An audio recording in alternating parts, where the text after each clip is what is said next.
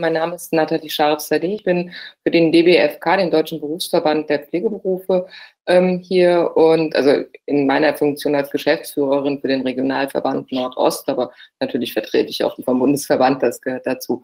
Ähm, meine Vision, ja, ist jetzt ein bisschen langweilig, weil meine Vorredner das tatsächlich großenteils schon vorne weggenommen haben. Diese Gesundheitszentren, es gab gestern eine sehr interessante Meilenstein-Konferenz, auf der auch ähm, Frau Schulze-Asche war und äh, ein paar interessante Impulse gegeben hat.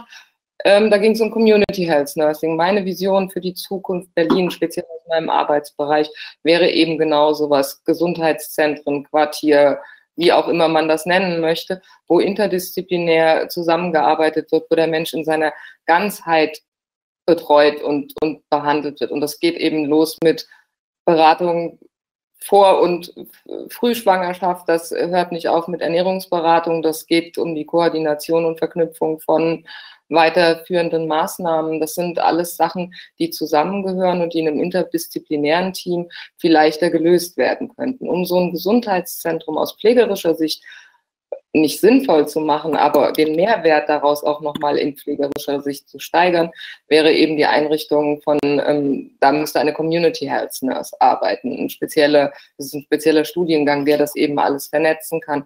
Dann könnte gewährleistet werden, dass, ich habe mal geguckt, 2050 wäre ich 82, dass ich durch die Stadt laufe und in fußläufig oder zumindest sehr nah einen Ort finde, an dem ich Behandlung, Beratung, Präventionsmaßnahmen, soziale Kontakte, all das finden kann in einer Hand von Mitarbeitenden sein, das nun Pflegekräfte, Ärzte, Physiotherapeuten, Ernährungsberater, name it, ähm, dass die alle auch meinen sozialen Hintergrund zum Beispiel mit einbeziehen. Deswegen muss Quartierpflege natürlich gerichtet sein an den Bedarfen der Bevölkerung und deswegen kann die auch nicht überall gleich sein. Aber in einer Stadt wie Berlin kann man sich da auch austauschen. Aber das ist möglicherweise in Kreuzberg, Neukölln andere Bedarfe gibt als vielleicht in Charlottenburg, sollte klar sein und darauf sollte auch eingegangen werden. Und der Mensch, der eben dann, ich, die 82-Jährige, die dann da eben hingeht, möchte wissen, dass das nachvollzogen werden kann, weil auch die Quartiernähe da ist von den Mitarbeitenden.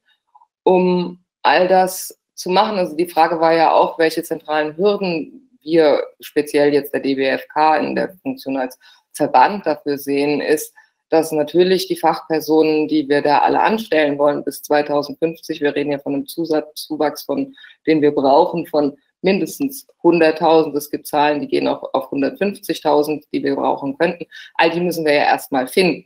Um die dann, und um das zu tun, braucht es heute mehr als Anerkennung und tatsächlich auch mehr als eine Bonuszahlung. Grundsätzlich freue ich mich natürlich über die Bonuszahlung, wenn sie denn für alle, so wie es vom Bundesgesetzblatt vorgesehen ist, auch ausgezahlt wird.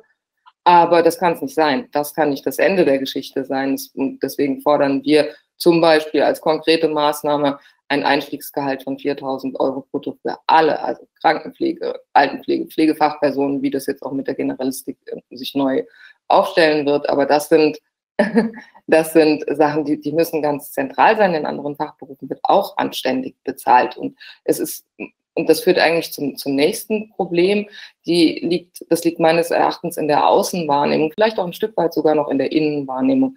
Ähm, es ist immer, man ist schnell bereit, Applaus zu geben, gerade wenn einem geholfen wurde, aber insgesamt ist die Pflege vielleicht nochmal anders als zum Beispiel die Hebammen, die da viel besser dastehen.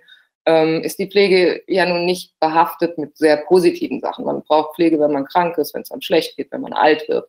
Das sind alles Sachen, die nicht gerade dazu führen, dass wir eine große Stimme haben. Und ähm, wir müssten, was, was passieren muss, konkret ist eine Aufwertung dieser, dieser Berufe und dass wir nicht mehr als DienstleisterInnen von ähm, untergeordneter Bedeutung, die in, in Substitutionen oder Delegationen, ich kann diese leidige Diskussion kaum noch hören, ähm, als ausführende Handlanger sozusagen gesehen werden, sondern es muss dahin gehen, dass, um, um eine aktive Rolle in der Gesundheitsversorgung einnehmen zu können, muss klar werden und muss das auch gefördert werden, welche Kompetenzen dahinter stecken, welche, was für ein spezialisierter Beruf das ist und das ist, und das sollten Pflegefachpersonen von sich aus selbstbewusst vertreten. Das sollte aber eben auch von außen an sie herangetragen werden. Und das geschieht unter anderem durch Bezahlung ganz wichtig oder was für uns zentral ist, das fasst es nur zusammen, ist, eine, ist die Pflegekammer. Da würden eben zum Beispiel Sachen wie die Fortbildung, wer,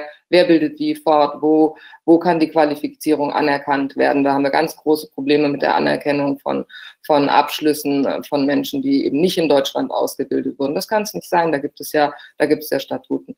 Ähm, ich finde es auch schlimm, dass wir immer versuchen, tatsächlich, vorhin hat das schon ein Redner erwähnt, ich weiß nicht mehr wer, das Rad neu zu erfinden. Ja, es gibt Möglichkeiten, ich habe es gesehen, danke. Ähm, es gibt Möglichkeiten, das zu tun. Als konkrete Maßnahme brauchen wir deswegen auch einen Ausbau der akademischen Qualifizierung und einen konkreten Finanzierungsplan dafür. Das ist so meine Vision und was wir uns wünschen würden.